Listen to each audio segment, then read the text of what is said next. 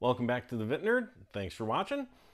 And uh, this time I'm going to open up some boxes. I, have been busy for a couple months and this stuff is piled up. I ordered some parts for some uh, retro projects and uh, some things for the newer computers like the Coco and the TI-99 that I got a hold of. Uh, I can remember mostly what's in these boxes, but I think there's going to be a couple surprises, and I uh, thought I'd share. And uh, let's get into it and get these opened up.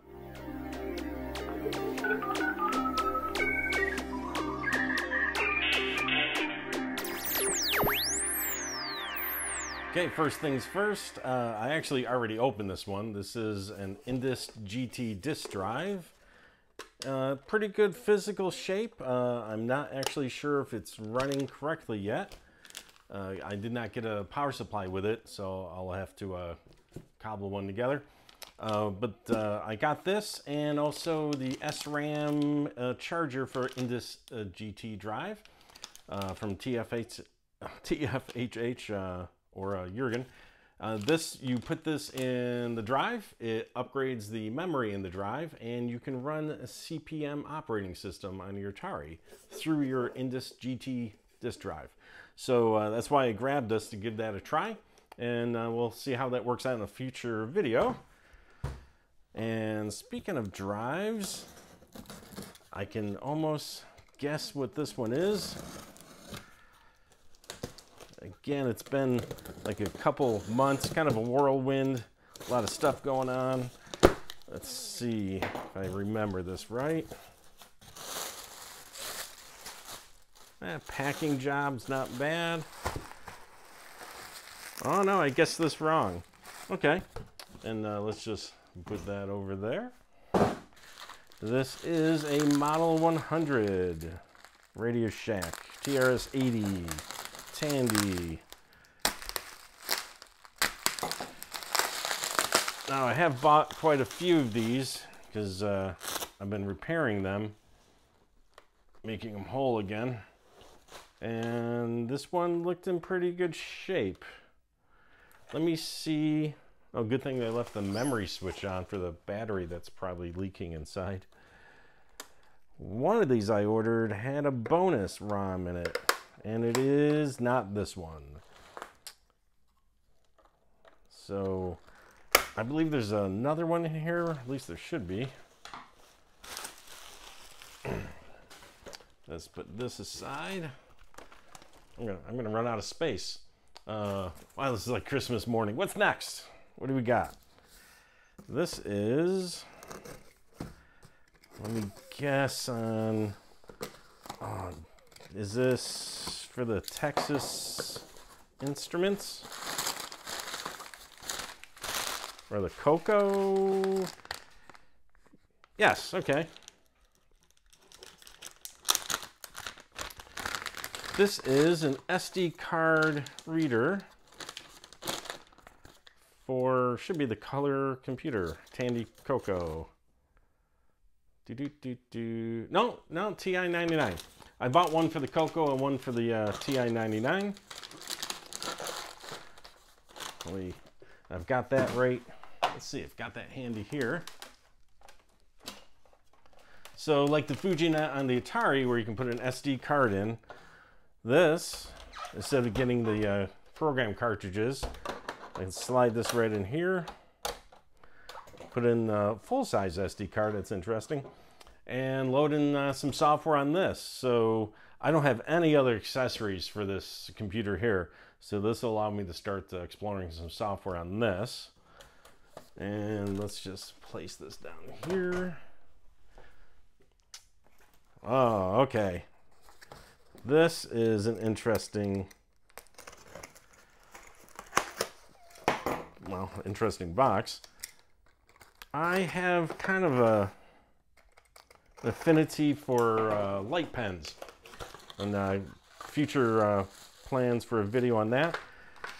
And I wasn't sure, this might be homemade. I bought this off eBay from Germany. Ratho Hamburg, it says. Somebody probably made this uh, at home. And uh, I had done the same thing uh, decades ago where uh, some of the magazines would have instructions for making your own light pen at home. And uh, it's going to be fun finding out how well that works. Um, like I said, I've got a few different light pens and light guns. I'm going to plan a video and try that stuff off uh, uh, off of regular TV. It won't work on an LCD panel. It needs to see the the light. This from Retro Rewind. This is going to be, if that was the color computer, no, sorry, TI-99, this is the SD card interface for the Coco. Yep, Coco SDC. Floppy disk drive emulator for Tandy color computers.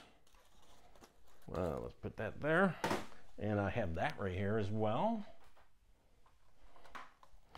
So same thing with the TI-99.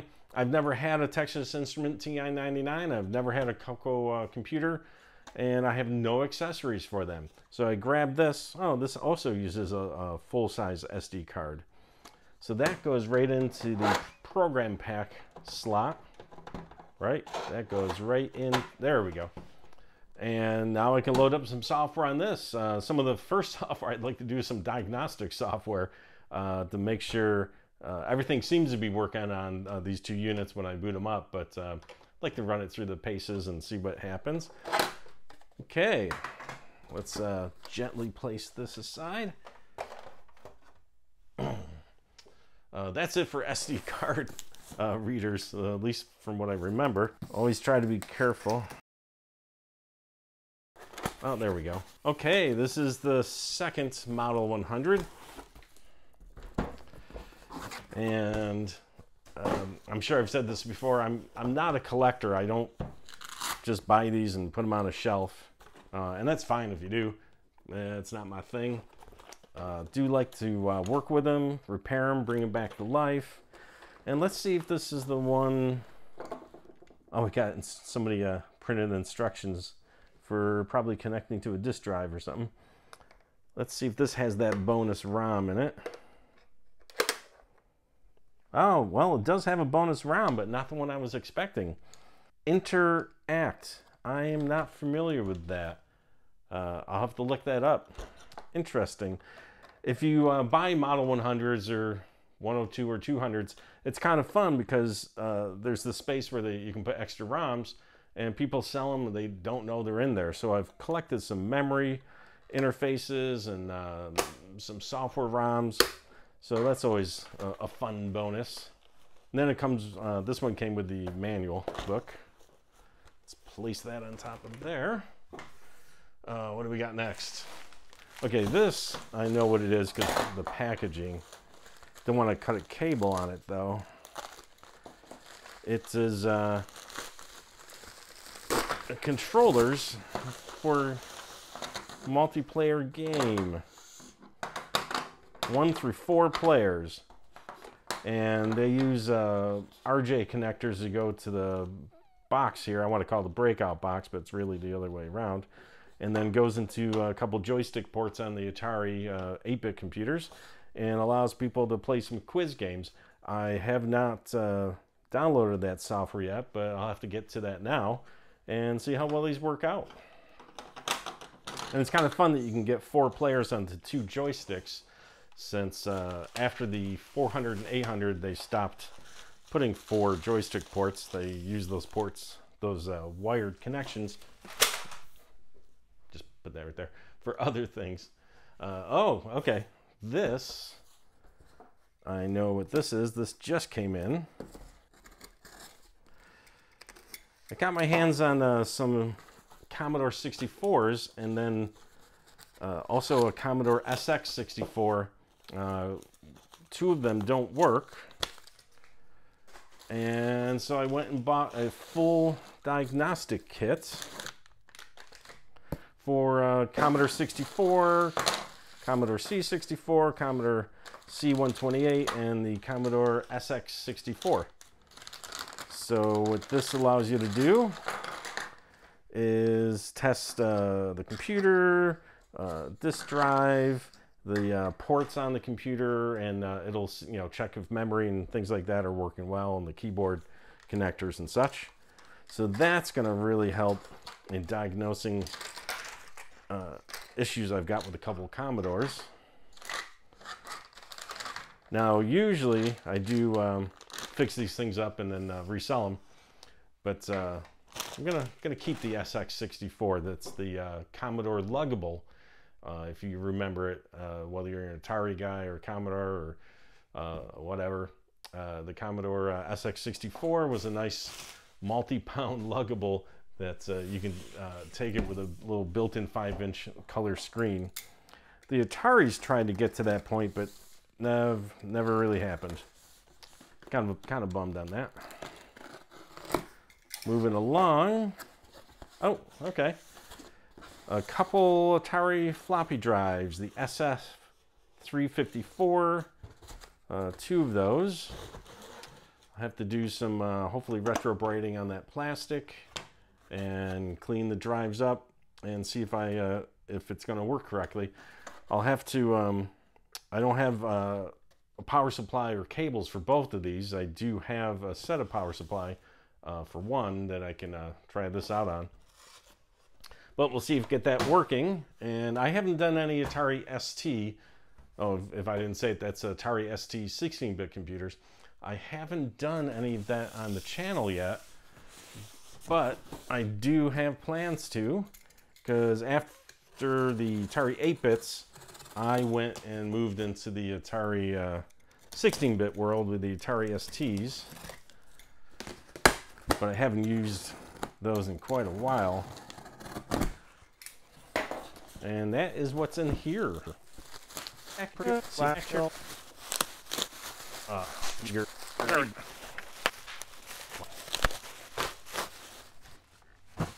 okay. Atari 1040 STF. F, uh, because it's got the floppy drive built in.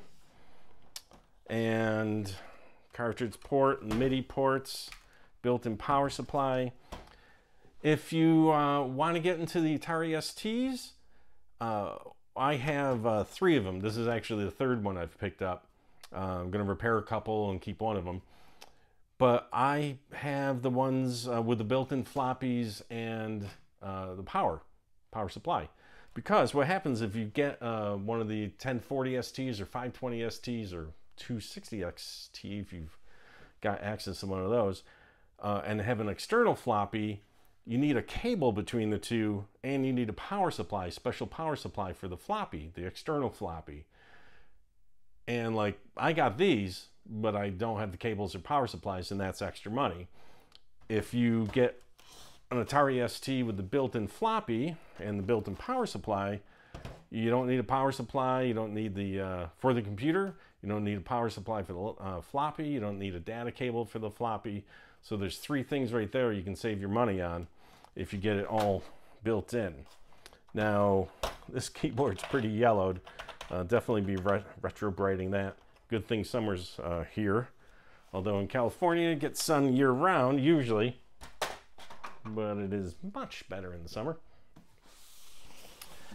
Okay, two boxes left. And uh, let's save that one. Let's save that one for last. Um, one of these is going to be, what is this? I do not remember what this one is. Oh, it's another Model 100. Now, if you watch eBay enough, you can you can get these at a good price, especially if they're untested. Usually the battery inside dies and the thing won't boot and so forth. Just needs some repair. And uh, this one needs a little cleaning. East Shore Center, wherever that is. Okay, good thing we got Velcro in there. Okay, let's see if this has that bonus ROM that I was expecting. Nope. Okay, no bonus ROMs in this one. And let's turn off the memory switch there. I didn't check the other ones, but yeah, no batteries in there. Looks pretty clean in there. That's a good sign. Okay. So, This should be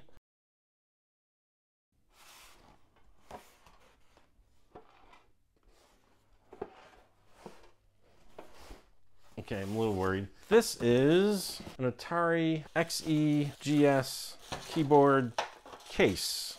But I didn't buy the case. What I did buy was the controller board, which isn't that big. I wonder if there's a, another bonus in here. So what I did buy from this seller was just this controller board. Because I um, have some project ideas um, for an external Atari uh, keyboard to plug into the XEGS and uh, I was just gonna kind of make up a board, figure out uh, how to do it, breadboard it. But then this popped up on eBay, pretty cheap. So I went ahead and grabbed it. And then the seller said he had the other parts. Ooh, definitely. He said he said he had the other parts, and he was just gonna throw it in the box and ship it. Uh, that was very nice of him. Um, and I can see why. Well, it came with bonus hair, so. That's nice.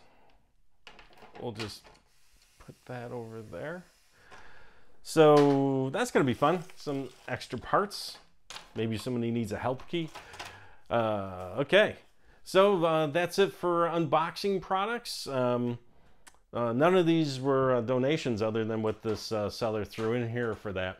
Uh, so I purchased all these uh, to get some uh, retro projects going, and that's going to be some uh, future videos not too far down the line. So uh, take a look at the channel, go ahead and subscribe. I'd appreciate that, and join me next time. Thanks.